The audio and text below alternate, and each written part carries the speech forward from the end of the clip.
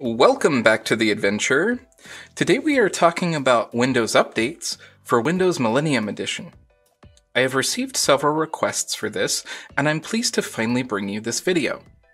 For the past couple of months, I have been focused on making instructional videos about how to revive the automatic update feature in Windows 2000 and forward. It is important to note that Windows ME does not have a native automatic update feature. The updates for ME also do not appear in the Microsoft catalog, meaning that they are not available from the Windows Update servers. So then what are we talking about here today? There are a few methods available to update a Windows ME system. The time codes will be down in the description to skip to the method that you would like to use.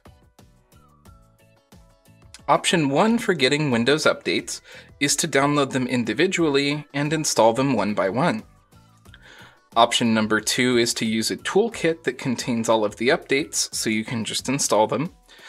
Option 3 is to use the unofficial service pack, and option 4 is a little eccentric, so we'll talk about it at the end of the video. Option number 1. So we've decided to download the updates and install them one by one.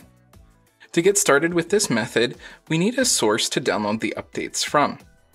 Open up a browser and head over to mdgx.com. MDGX is probably the best place for finding tricks, secrets, bugs, and fixes for both Windows and DOS. As their website says, serving strictly the best tweaks to millions of readers since 1993. This website is still alive after more than 25 years and counting. From the left-hand navigation bar, click on Windows ME Tricks, from this page, click on ME Updates at the top. Here we have a very long list of both official and unofficial updates for Windows ME.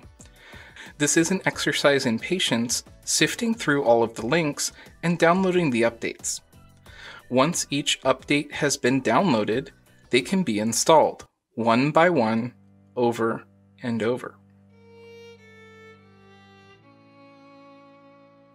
Option 2. Perhaps the previous option was a little discouraging, so here we are. To update Windows ME, we can use a toolkit, which in this context is a CD image that contains the offline installer packages for the individual updates. Archive.org has us covered with a very large archive of Windows updates for legacy operating systems, which spans Windows 95 through Windows Vista. Assuming that you are not on a metered internet connection, we can download the 3.6 gigabyte ISO image containing updates for Windows 95 through XP. Do allow some time for the download to finish. If you are using a virtual machine, you can mount the disk image and start installing updates. For real hardware, the next step is to burn the image to a disk, which can then be inserted in the Windows ME system.